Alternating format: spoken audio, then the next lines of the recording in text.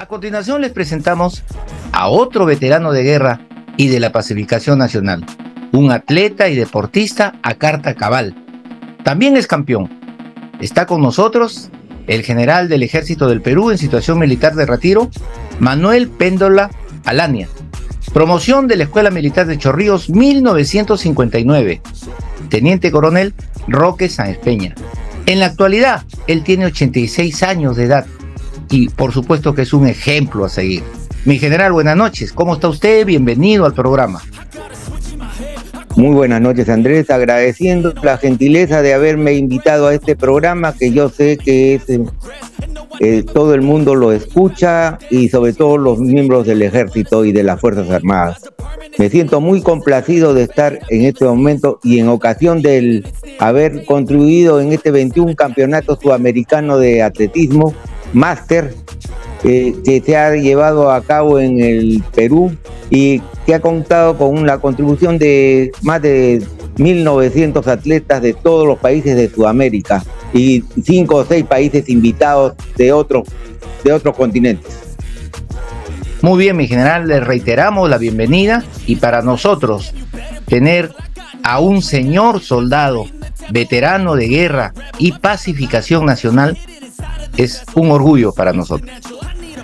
Usted es un oficial de nuestro ejército destacado deportista y ha tenido una brillante participación en este 21 Campeonato Sudamericano Máster. ¿Qué recuerdo tiene de su escuela militar de Chorrillos y el legado que le dejó? Bueno, cuando uno recuerda los años de cadete, la nostalgia lo invade, porque recuerda la época en que, estando joven, uno tuvo la oportunidad de defender los colores de la escuela. En mi época habían magníficos atletas nacionales que han pasado a la historia como campeones nacionales, como Ramón Sánchez, Eulogio Gómez de la Torre, Felipe Tizo. Con ellos estuve en esa época, pero un poco que me alejé de la parte deportiva porque verdaderamente en esa época o estudiaba uno o rendía en la parte deportiva. El, hecho de ser atleta significa para nosotros una gran pérdida de energía. Y entonces yo, este, ellos eran tan buenos que yo no me sentía capaz de acompañarlos. Ya comencé a actuar yo posteriormente, habiendo salido de oficial, y de ahí ya no paré hasta la fecha. Increíble, mi general, increíble porque nos da usted un ejemplo de vitalidad, fortaleza y como usted dice, gracias a su formación en la Escuela Militar de Chorrillos. Ahora, ¿en qué pruebas participó en este sudamericano, el 21 sudamericano eh, máster? Los resultados y medallas obtenidas, mi general. Bueno, eh, e, este campeonato ha comenzado del 18 al 26 de noviembre. Yo he participado en cinco pruebas.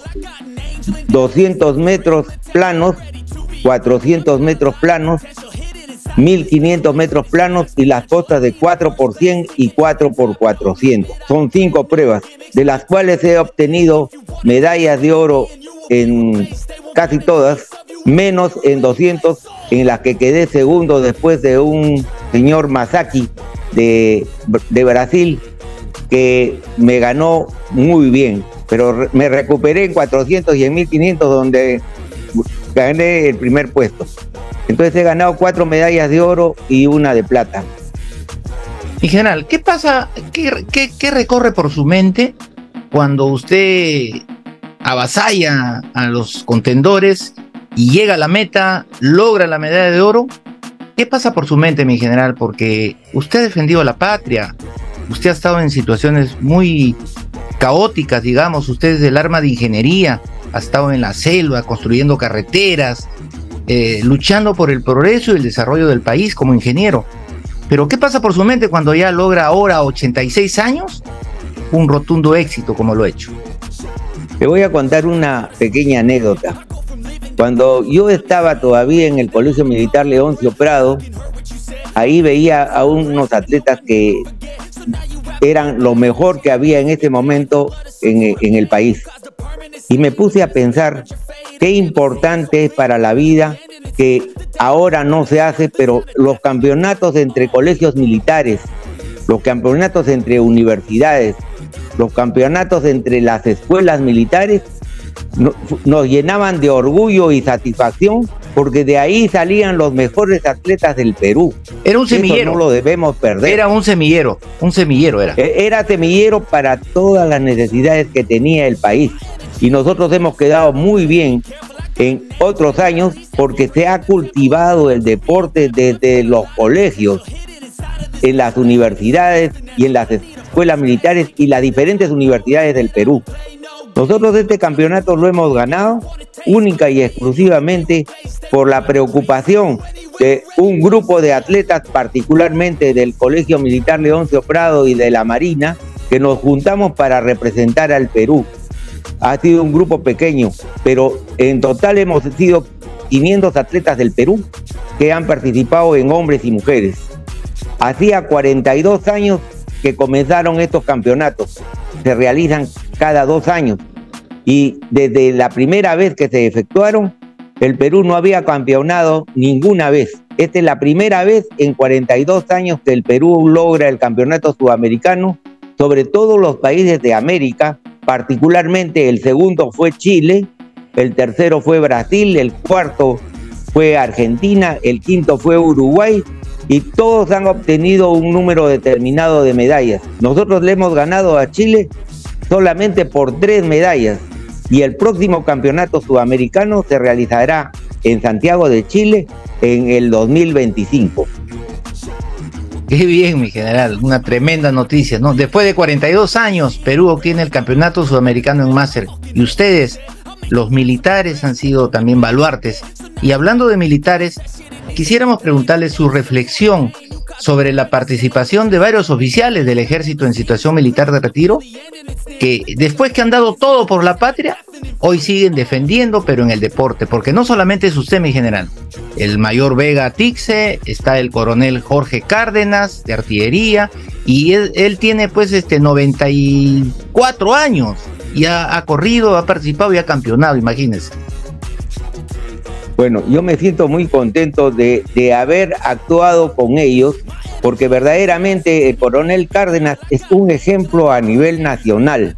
Es el atleta más viejo que hay en este momento en el Perú y se conserva en un estado físico excelente. De ahí viene una reflexión interesante para todos los oficiales del ejército y para toda nuestra juventud.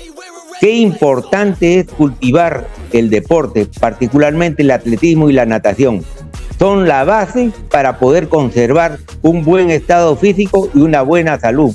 Y nosotros no solamente nos debemos quedar eh, dándonos ejemplos entre nosotros, somos un ejemplo para la familia y lograr que nuestros hijos y nuestros nietos participen de esta, estos triunfos, estas satisfacciones porque en ellos está el futuro del país. Mi general, ese programa llega casi a todo el Perú. Lo ven muchos jóvenes, lo ven cadetes de la Escuela Militar de Chorrillos, lo ven los alumnos de nuestra escuela técnica. Y un mensaje de forma general de usted, ¿qué les diría? Bueno, en principio a la Escuela Militar y a los cadetes del Colegio Militar León Prado, donde he tenido el gusto de estar como cadete, que cultiven el, deporte, que lo, lo sigan practicando en todo momento de su vida, porque es una forma de mantener el cuerpo sano y cuando la mente también está ocupada. Estudiar es una cosa importante para lograr triunfos en la vida, pero hacer deporte es mucho más importante porque si el cuerpo está en buen estado, nosotros nos mantenemos en posición de poder realizar cualquier actividad o trabajo. Sigan disfrutando del atletismo particularmente porque esto nos da muchas satisfacciones y la necesidad de mantener el cuerpo sano es muy importante. Mi general, muy agradecido por haber estado esta noche con nosotros, mi general. Las pantallas para su despedida. Bueno, agradezco la gentileza que ha tenido el programa y particularmente tú, Andrés, por haberme brindado la satisfacción de poder llegar a todos ustedes y poder sentir y decir de mi parte lo, satisfecho que nos encontramos de lograr haber participado en este campeonato sudamericano y haber dado algunos triunfos para el país. Ojalá que el ejemplo que hayamos podido dar nosotros a nuestra edad siga cultivándose en todos ustedes, oficiales y cadetes, porque creo que el futuro de ustedes está en, el, en, en tener el cuerpo sano y la mente en las mismas condiciones. Muchísimas gracias. Muchas gracias, mi general. Buenas noches.